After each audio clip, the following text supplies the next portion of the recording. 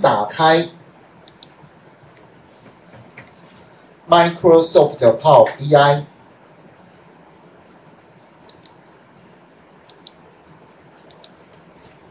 然后接下来呢，在这个地方，我是不是要先取得资料？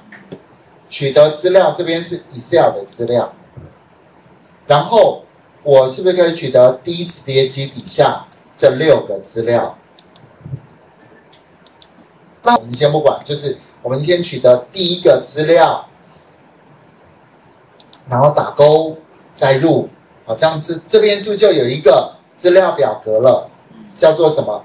二零零八年一月，哦，这应该没有问题嘛？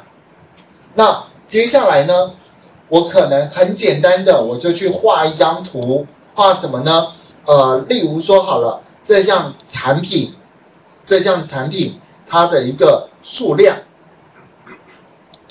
好的一个图，好，我就我就简单的，我随便画出一张图就对了啦，这样大概知道我在讲什么。可是这里面资料是不是只有一月份的，对不对？好。那我现在是不是要再去做二月份的资料汇入进来？是不是这张图我会希望它自动直接改变？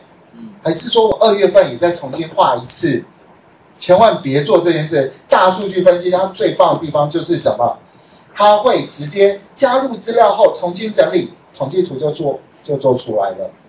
好，所以呢，我们现在去看一下哦，稍微知道一下这样子一个数值，因为这样的话。等一下，你才知道说这个内容资料数值好，大概就是比较多的，就是一千多嘛。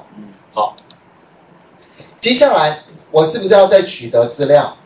因为我有一月啦，现在是不是要二月？好，所以取得资料，请问一下，做到这边没有问题吧？做到这边应该没问题哦。好，我继续喽。取得资料一样是 Excel 的资料，是不是二月？好，所以现在到了二零零八年二月喽，我就再把这个资料再录进来。可是这些数值没有改变嘛，对不对？因为它没合并啊。重点是不是要教你怎么把两个月的资料合并在一起？您看现在一月份的资料。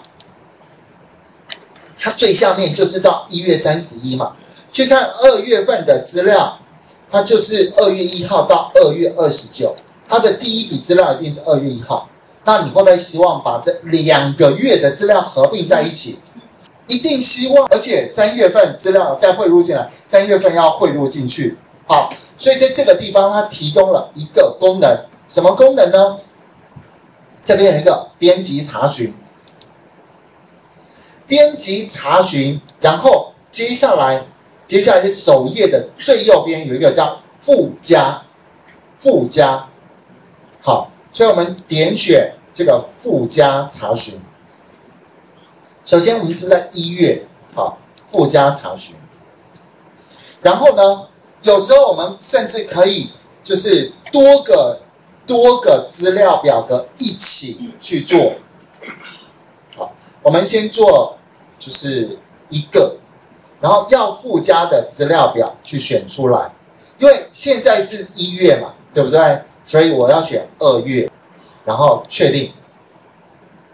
好，我们现在去看一月哦，一月，一月这边的最下面有看到三十三十一二月一号，就很单纯，是不是就可以直接合并在一起？这个是叫做编辑器，我们是不是可以关掉？然后是关掉之后还要再做什么事情？关掉之后我们回去报表，有看到吗？自动就帮你更新掉了，这样是不是很好？好在什么地方？你不用每个月重新做报表，你只有改什么？只有改编辑器的查询内容而已。